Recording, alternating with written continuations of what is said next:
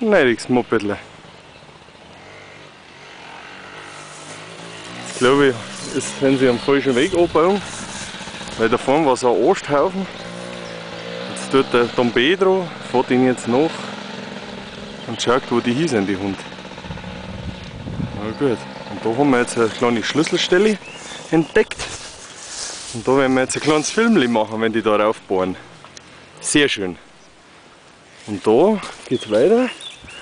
Ja, das ist natürlich, da schlagt mein Herz her.